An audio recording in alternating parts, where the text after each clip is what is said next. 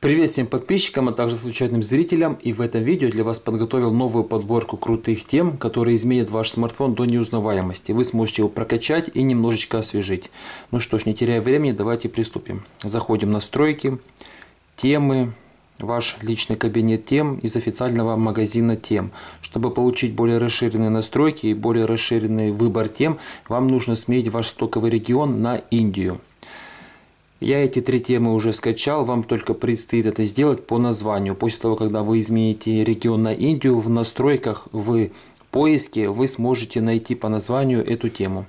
Первая тема, мы ее применяем. Напишите в комментариях, какая тема ваша самая любимая, мне очень интересно узнать. Смотрите, как выглядит наша первая тема, а движущаяся анимационная такая заставка на рабочем столе.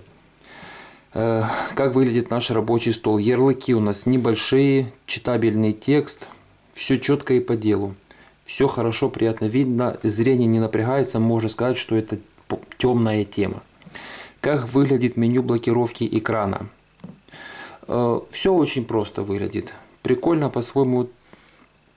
Э, эта анимационная картинка, она не садит вашу батарейку слишком сильно, потому что мало цветов. В основном преобладает черный. Поэтому эта тема имеет место быть.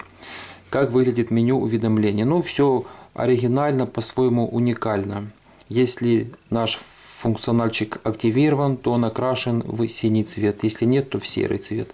Меню настроек стандартное, лишь изменены значки нашего функционала. И значки здесь разные. Вот смотрите, Wi-Fi, как бы значок Супермена. Ну, так немножко похоже. Меню вызовов. Тоже, в общем-то, стандартно синие цифры нашей звонилки.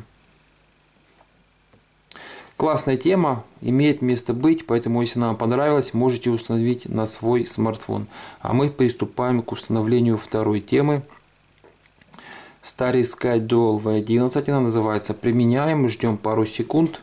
Телефон сейчас адаптируется под нее. Вот.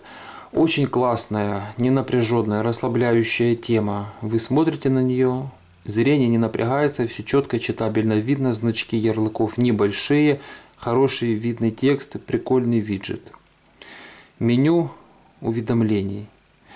Э, наш функционал выглядит в виде папок, но по-своему прикольно. Если функция включена, то крашена в красный цвет, нет в желтый цвет. Меню наших э, вызова. Э, прикольные цифры, окрашены круглым серым кружком цифра красный текст. По-своему уникально. Меню настроек. То же самое, стандартное, изменены лишь значки. Меню, так, блокировки экрана. Смотрим. Тоже все простенько, э, без лишних напряженных моментов.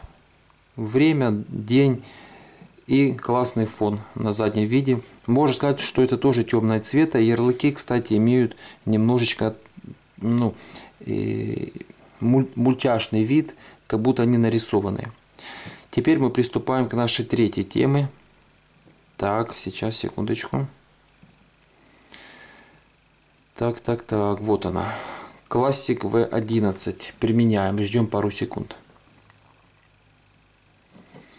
Так, тема применилась. Эта тема мне очень понравилась, особенно своим виджетом, особенно своим э, внешним видом и своей обойной. Очень прикольная тема. Так, зеленый цвет преобладает в меню уведомлений круглые ярлыки. Если ярлык активирован, то зеленым цветом.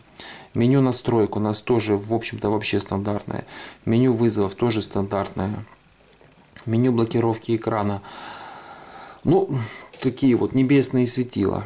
Тоже расслабляющая, ненапряженная тема.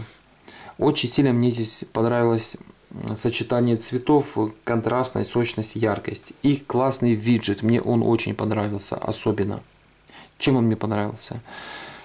Э, время в отдельном кружочке, погода в отдельном, заряд вашей батареи в третьем. Все четенько, понятно, видно. Спасибо, ребят, всем за внимание. Всем успехов.